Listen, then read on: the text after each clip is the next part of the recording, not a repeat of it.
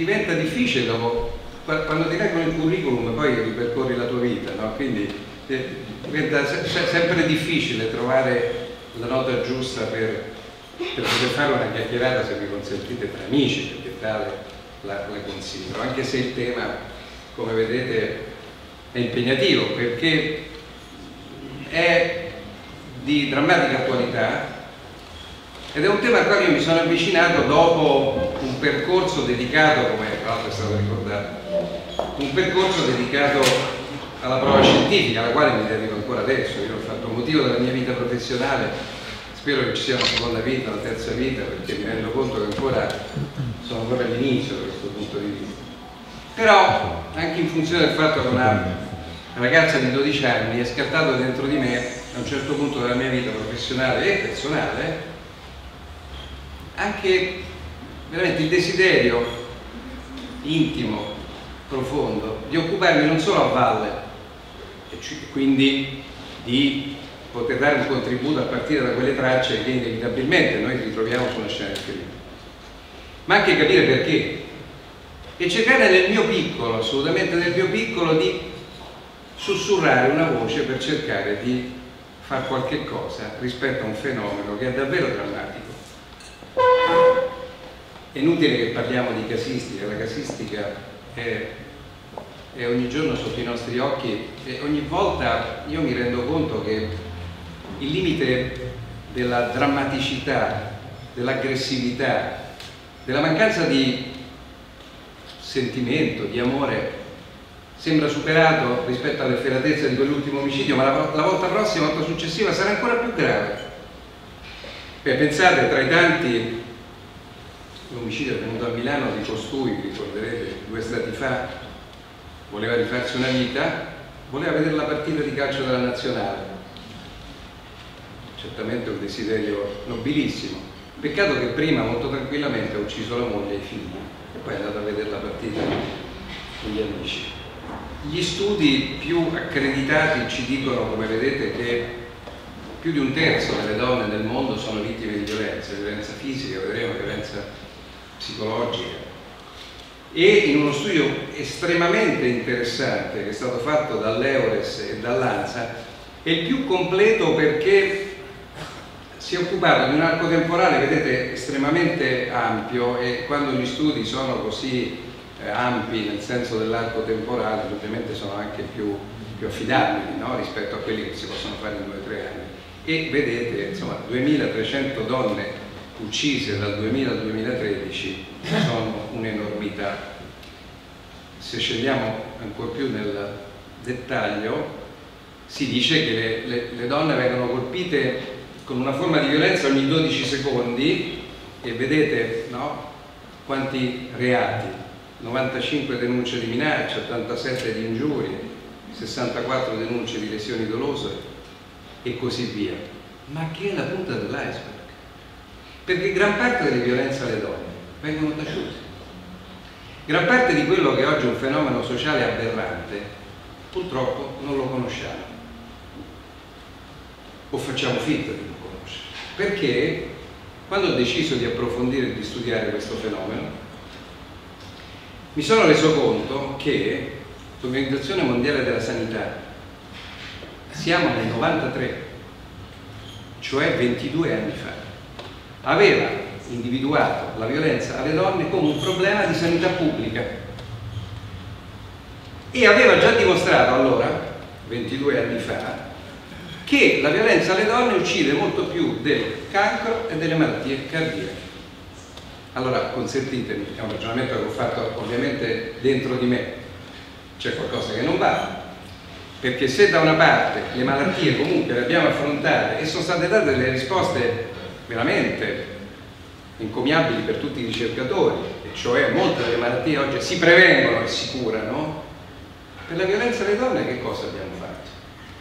Ce ne siamo disinteressati. Ecco perché io ho deciso, insieme a Rossella Diaz di scrivere questo libro che un po' era anche un esercizio per me di approfondimento ma soprattutto la possibilità di esplorare un settore come vedrete quello della prevenzione che secondo me è rimasto inesplorato nonostante c'è una nuova legge.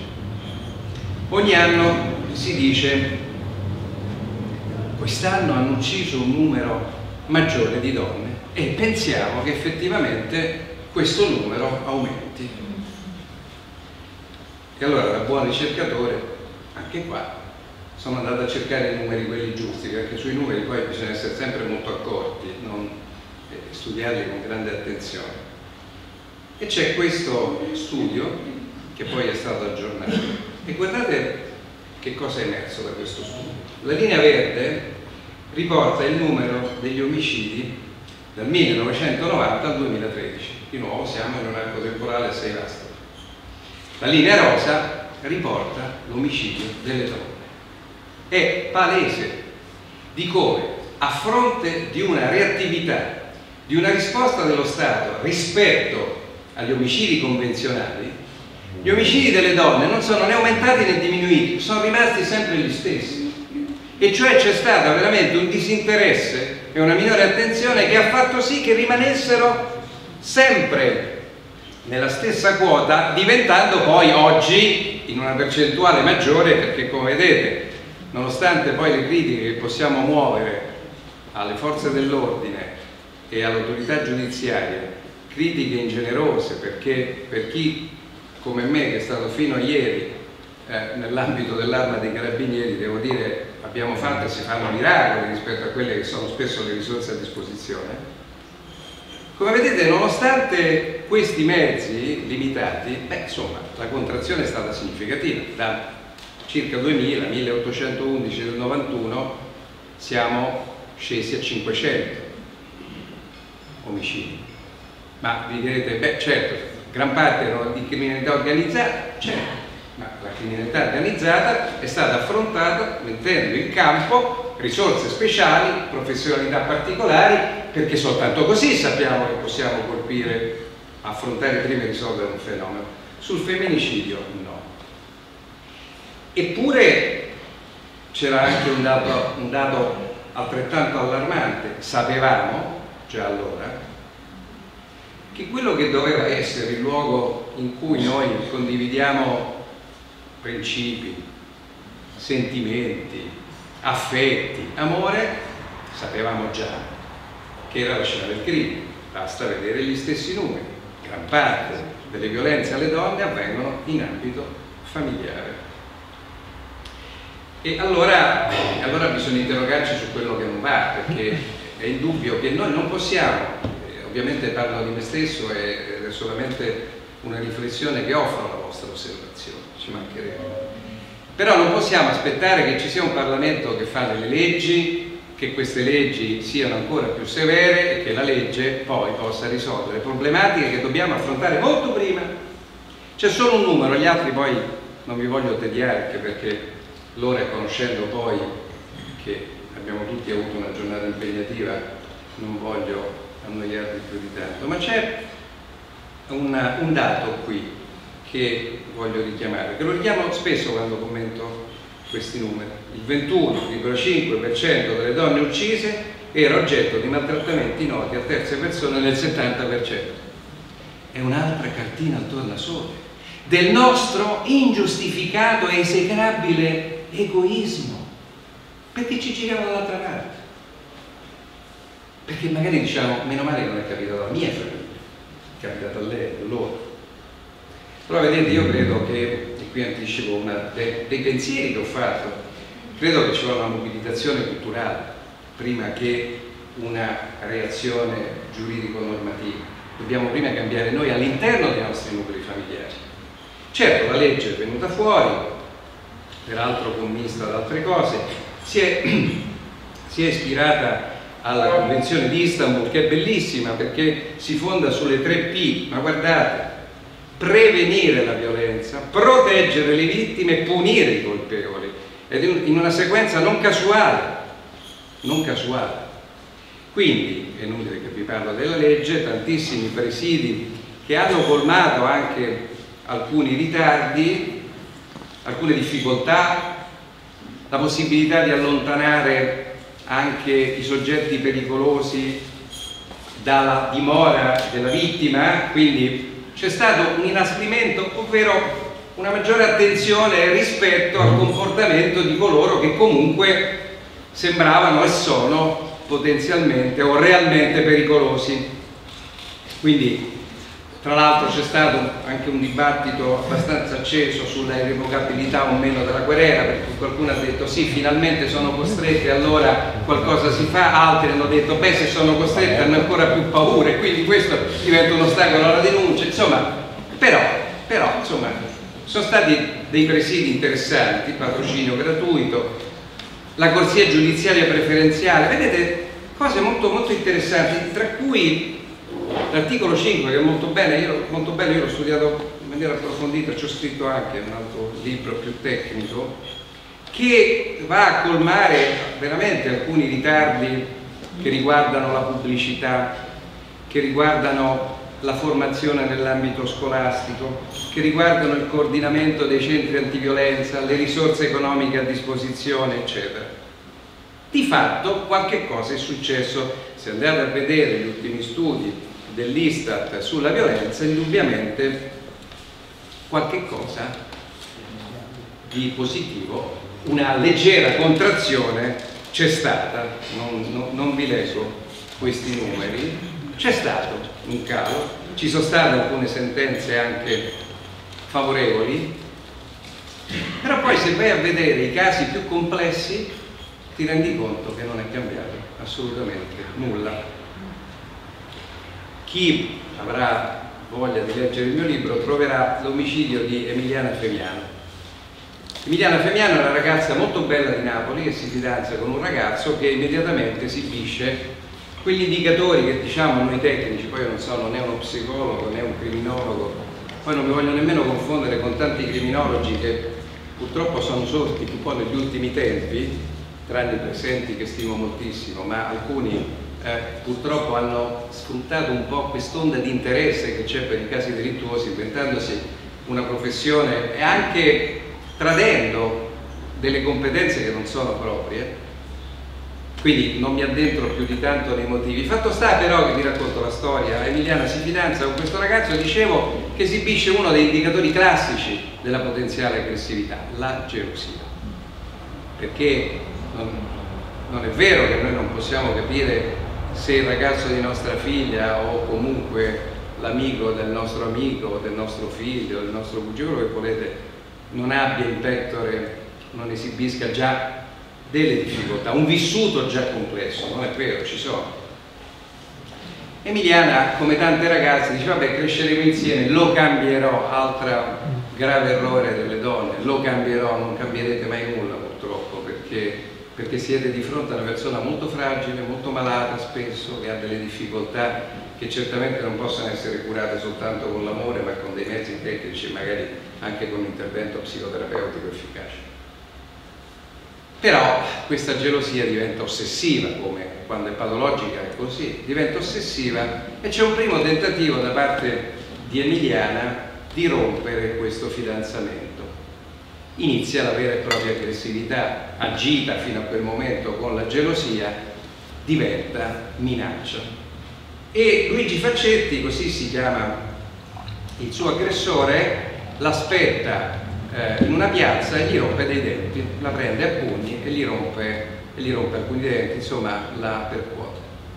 È il primo atto di violenza, questo genera in Emiliana una reazione ancora più manifesta nel voler rompere questa relazione, riesce bene o male, con non poche difficoltà anche perché decide insieme alla mamma di voler denunciare anche questi episodi, ma verrà sballottata da un posto di polizia all'altro perché anche qui, e non ne faccio un tema di critica nei confronti delle forze di polizia, ci arriverò tra un attimo, è una questione anche di preparazione, perché un altro delle patologie del nostro sistema è che spesso si banalizza in modo tale che no, poi non ci si debba occupare, ma perché si banalizza? Si banalizza perché non si è preparati a raccogliere, sostenere, comprendere, e non essendo preparati cerchiamo di lavarci le mani. Insomma queste denunce partono o non partono, Emiliano è decisa, ancora più la sua famiglia. Anzi la famiglia tenta con l'altra famiglia E qui scattano delle responsabilità che vedete investono le famiglie, non soltanto gli attori. Eh, c'è un altro omicidio che racconta nel libro di Silvia Mantovani, l'ho raccontato perché era una biologa come me, voleva fare la rissina, dico la rissina per affetto con il RIS, voleva entrare nel RIS di Parma. Beh, lì le violenze del fidanzato sono state coperte da un noto medico di Parma che andava dai carabinieri e li convinceva, sono talmente noto, talmente in vista, vi prego, cerchiamo di mantenere contenuto, anziché prendere il figlio ed aiutarlo a risolvere delle problematiche di tossicodipendenza, di aggressività che anziché essere insabbiate andavano affrontate. Emiliano insomma decide che la deve far finita. Luigi non si ferma, perché non si fermano mai l'aspetta in un garage e quasi la uccide. A quel punto viene arrestato e finalmente sembra finita la persecuzione nei confronti di Emiliano. Ma c'è un giudice che a un certo punto, in difformità rispetto al giudice precedente, pensa che l'aggressività di Luigi non sia più così minacciosa e lo avvia agli arresti domiciliari. È quello che voleva Luigi che attraverso la rete, quindi non passa a quella personale, attraverso la rete convince Emiliana ad un ultimo chiarimento. Ti voglio chiedere scusa perché voglio recuperare rispetto al male che ti ho fatto. Emiliana viene portata dai cugini di Luigi a Terracina dove scontava gli arresti domiciliari e lì finirà la sua vita. Io ho scritto questo libro nel 2012. Pensavo che la nuova legge fosse qualcosa che potesse veramente risolvere. Voi non ve li ricordate questi casi, io lo, sappiamo che li seguiamo perché, perché insomma, fanno parte della, della nostra vita. Probabilmente ricorderete l'omicidio di Irene Focati a Firenze uccisa e impacchettata nel canale adiacente all'abitazione del proprio convivente, amante, il quale era stato già condannato, ma ancora si frequentava e puntualmente la malmenava, la violava.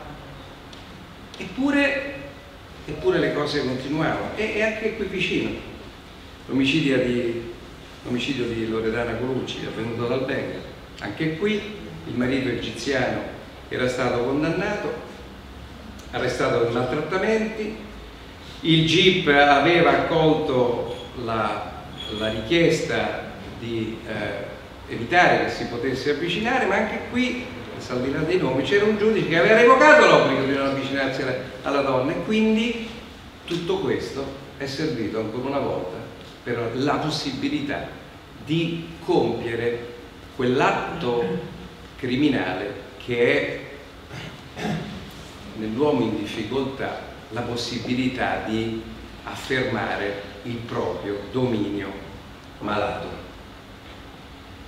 Vedete, non a caso, però, quando, Ermi, eh, quando Rashida Mangiù, la relatrice speciale dell'ONU, è venuta in Italia per studiare un po' non solo l'Italia ma gli altri paesi, e ci ha etichettato con una, come vedete, una diagnosi estremamente preoccupante, anche molto umiliante. Ha detto che il femminicidio in Italia è un crimine di Stato. Questo perché? Perché poi se andate a vedere quello che può succedere insomma, nel nostro paese, vi rendete conto che, come ha riferito il Presidente della Camera, 7 donne su 10 prima di essere uccise avevano denunciato una violenza e avevano chiamato il 118. Allora vedete, di nuovo ci troviamo a confrontarci rispetto a un, a un, fenomeno che è mondiale e sul quale devo dire l'Italia anche esibisce dei numeri per certi versi incoraggianti, però per il quale non ci siamo voluti occupare strada facendo affrontandolo con quegli strumenti che analogamente alla criminalità organizzata avevamo messo in campo. Il problema fondamentale è il sommerso. Gli stessi studi eh, ci documentano che chi dice il 4, chi dice il 7, insomma al massimo si arriva a un 7-8% delle denunce rispetto, rispetto, ai casi che, che, che, invece tutti i giorni accadono. Io stamattina parlavo dell'omicidio di Eligia Ardita, una donna che è stata uccisa dal marito che poi ha confessato dopo otto mesi l'omicidio della moglie e del bambino che aveva in grembo. inizialmente aveva simulato eh, l'uccisione della moglie come un problema di malasanità, poi evidentemente mh, per una serie di motivi che riguardavano soprattutto il fatto che ormai si sentiva braccato e scoperto, poi ha deciso di, di denunciare. Beh, questa donna non aveva mai partecipato alla sua famiglia alle violenze che subiva. E lui, perché sono dei manipolatori e degli attori incredibili, e lui era riuscito a passare come un bravissimo ragazzo. E soltanto poi nell'ambito intimistico che si manifestava per quello che era. E purtroppo noi non siamo nemmeno molto attenti a fenomeni che sono ancora più minacciosi. Mi riferisco per esempio allo stalking, che sembra, che sembra qualcosa così lontano dall'omicidio. Tra l'altro, vedete, non c'è una netta distinzione tra, tra lo stalking e poi un corteggiamento forte. E spesso le nostre ragazze non lo capiscono. E perché non lo capiscono? Perché siamo noi che non le seguiamo, non le sosteniamo, non le accompagniamo rispetto ad una crescita che purtroppo spesso poi può portare, sempre, sempre secondo le stesse statistiche, a percentuali incredibilmente gravi. Il 27% delle donne uccise era stata vittima di stalking con un altro rischio, che è costituito da questi oggetti. Ma lo sapete che un reato su cinque è commesso attraverso i telefonini? E poi basta guardarsi, basta guardarsi nelle nostre azioni quotidiane. Ormai siamo tutti dipendenti no? Da questi oggetti. Ma quanto se ci pensiamo, è una riflessione banale quella che richiamo a, davanti a voi, ma se ci pensate quanto è più semplice ideare ed agire un reato attraverso il telefono mancando quel rapporto personale che comunque può costituire un ostacolo perché nel rapporto personale insomma trasmettiamo comportamenti, atteggiamenti che possono anche scoraggiare il potenziale aggressore. Sempre nel libro c'è un caso incredibile che è l'omicidio di Chiara Brandonisio che inizia una relazione e conclude una relazione solo virtuale, quindi attraverso la rete, Facebook, Instagram, quello che volete, Whatsapp, insomma ce n'è purtroppo fin troppe, ma a un certo punto si rende conto che quell'uomo così interessante, manipolatore, affascinante, seduttivo, c'era qualcosa che non la convinceva totalmente e comincia ad arretrare fino a quando manifesta la sua volontà di chiudere questa amicizia virtuale. Era troppo tardi, perché ne parlavo prima con chi amabilmente condivideva la scena con me. Ma insomma, certe volte pensiamo alla privacy, ma quando poi approcciamo a qualsiasi operazione che dipenda da un computer, sembra che lì viviamo una libertà di diffusione dei dati incredibile, ingiustificata, non soltanto quando questa è poi finalizzata all'acquisto di beni, aerei, eccetera, ma quasi quasi siamo gelosi delle nostre foto, dei nostri dati, però all'ultimo amico su Facebook pubblichiamo tutto, la nostra intimità, le nostre fotografie, dove abitiamo, che facciamo, i nostri orari, e così aveva fatto costui sapeva per filo e per segno quali erano le abitudini e siccome si era permessa, tra virgolette, permessa di decidere lei l'interruzione di una relazione, lui interrompe la vita. E la uccide al primo incontro. Non la conosceva. La conosceva attraverso la rete. Quindi siamo dipendenti dal telefono, tremendamente dipendenti. Su questo io ancora resisto con mia figlia Marta ha 12 anni e mezzo, non ne voglio fare una diversa, ma ancora il telefono non ce l'ha. Perché credo che qui abbiamo veramente esagerato. Ma che bisogno c'era una bambina, un bambino di 10 anni di regalare il telefono? Ah, per un motivo squisitamente tecnico questi oggetti emanano un'energia assolutamente nociva. Se poi la sommate al wifi, al microonde e a tutto quello che sta nei, no nei nostri appartamenti, vi garantisco che vi mettereste paura se leggeste degli articoli specifici su quante radiazioni noi, a quante radiazioni noi siamo esposti. Eh, ma così sono più sicuro. Perché? Lo vado a prendere, so dove va, ci sono altri mezzi? No. E poi glielo regaliamo, ma siamo sicuri che poi li seguiamo. Che con una vigilanza positiva, che significa protezione, andiamo a vedere con chi si interfaccia, quali siti eh, attiva o subisce. Io ogni anno vado a fare una chiacchierata a scuola di Marta, ho iniziato l'anno scorso, quest'anno, il prossimo anno, perché finirà le scuole medie. E sorrido, un sorriso, sorrido, è un sorriso amaro quando ho fatto la prima domanda, stupido io. Chi di voi ha il telefono cellulare? Il 90% della sua classe in prima media ha il telefono cellulare. Seconda domanda, ma chi è che ha un telefono così vecchio modello o uno smartphone? Tutti avevano lo smartphone e tutti sanno andare più dei genitori sui siti e quindi navigano e si espongono a tutti i rischi che questa nuova espressione tecnica purtroppo propone, tra cui anche il cyberbullismo. Perché prima no, incontravamo il gruppo, adesso la rete rafforza associazioni pseudocriminali perché colma tutte quelle problematiche che spesso personalmente e fisicamente non si riescono a colmare, ma molto più semplice attraverso il telefono. E sapete bene, sapete bene quanto la rete può essere il veicolo di atteggiamenti anticonservativi o comunque di abitudini eh, assolutamente nocive per i nostri, giovani, per i nostri giovani, guardi, i, i giovani più fragili, perché c'è sempre una diade, c'è sempre un binomio, aggressore, vittima, è un incontro fatale, ma inevitabilmente si incontrano. Allora, io credo, e mi avvio alla conclusione, che piuttosto che, e naturalmente, far sì e pretendere che ci siano delle leggi che siano applicate, a questo punto la legge c'è, ma non so quanto sia effettivamente applicata, io credo che noi molto dobbiamo insistere sulla prevenzione. E lo dico da, da, da genitore e anche da formatore. Io credo che noi dovremmo molto di più riscoprire il ruolo fondamentale delle nostre famiglie e della nostra scuola anche qui per una riflessione banalissima. I nostri ragazzi, soprattutto nella fase adolescenziale, ma anche prima, dove trascorrono le ore di eh, vita quotidiana, tranne il sonno? Più o meno metà scuola e metà in famiglia. Allora noi dobbiamo puntare a una nuova alleanza tra familiari, genitori e docenti, perché soltanto così potremo concordare, condividere dei nuovi programmi che nascono dal cuore, che nascono veramente dalla voglia di, di, di riformare in senso reale, non, non, politico, quella che è la formazione dei nostri ragazzi. Basti pensare al fatto che tutti noi siamo esclusi, ma quali riferimenti hanno i nostri ragazzi per crescere? Noi ce l'abbiamo.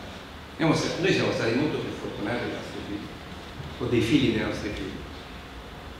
È tempo davvero di riappropriarci di alcune responsabilità. L'altro aspetto è una chiosa che faccio sulla professionalità, beh, non si può affrontare il tema del femminicidio o comunque della violenza delle donne senza formazione, senza specializzazione. Sono tematiche troppo delicate per non prevedere che ci sia veramente una dedizione, così come è stato fatto fondando la DNA, fondando i reparti speciali ROS o lo SCO, che sono nati proprio per combattere la criminalità organizzata. Fondiamo dalle varie istituzioni dei nuclei di persone che siano preparate, che siano selezionate anche secondo le loro attitudini personali, perché io posso nascere per una cosa ma l'altra non mi piace, quindi una selezione prima della voglia, della volontà di poter fare qualche cosa per questo tipo di, di problematiche, poi la specializzazione e poi la collaborazione. Io veramente credo che l'unico merito che mi si può riconoscere è che quando, quando ho assunto il comando del RIS di Parma l'unica cosa che ho, che, ho, che ho cercato di promuovere era la collaborazione tra tutti perché tutti erano assolutamente indispensabili. Quindi il libro su cui concludo eh, ha una parte eh, ovviamente che fotografa il fenomeno, poi vengono raccontati 11 episodi che da, da, dall'adolescenza poi conducono fino all'età matura, una donna uccisa per gelosia oltre 80 anni, proprio perché abbiamo voluto rappresentare uno spaccato realistico insomma, di quella che è la violenza alle donne, poi anche dei consigli su cosa fare, perché sembra banale, ma spesso una donna colta da problematiche come queste non sa nemmeno le cose più, più scontate, a chi rivolgersi, perché, cosa fare, se serve l'avvocato non serve e così via. poi i centri antiviolenza che abbiamo arricchito e poi, e poi abbiamo dedicato al libro anche una rappresentazione teatrale, pochissime perché io non faccio l'attore, però abbiamo pensato che spesso l'ambiente del teatro è molto favorevole a, alla discussione e soprattutto all'approfondimento di certi temi. Vi somministro, se avete così come una pillola, ma è finale, eh, uno spaccato di questo spettacolo che noi facciamo solamente, l'abbiamo fatto anche per eh, un'organizzazione come la vostra, in una città dell'Italia, ecco, anziché fare una conferenza, sono state trovate le risorse per fare uno spettacolo in un teatro, è stato veramente molto bello, quindi non siamo in cartellone, evitiamo queste cose, però lo facciamo proprio per approfondire eh, il tema in una cornice molto più assorbente e convincente da questo punto di vista. Ah, io però non ho, ah, posso mettere il, il microfono, se funziona, ah, vediamo, che non ho il cavallo.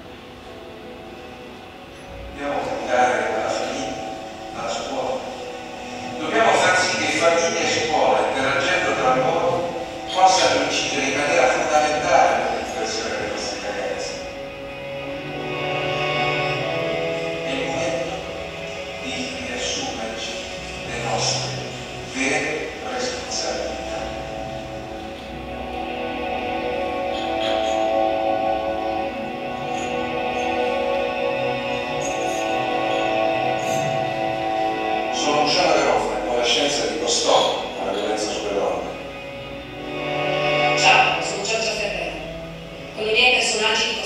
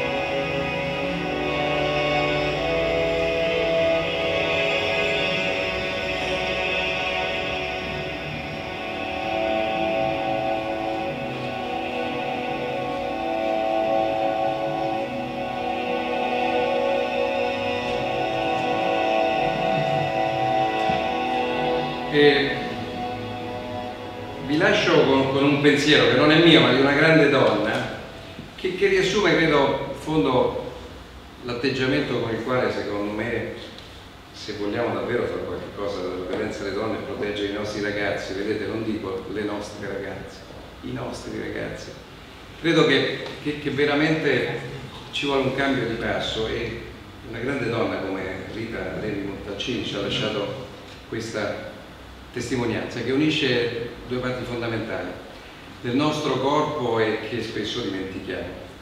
Rare sono le persone che usano la mente, pochi coloro che usano il cuore e uniche coloro che usano entrambi.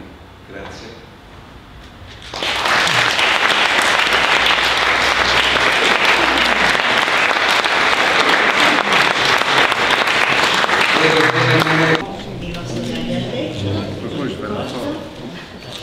Right. Yeah.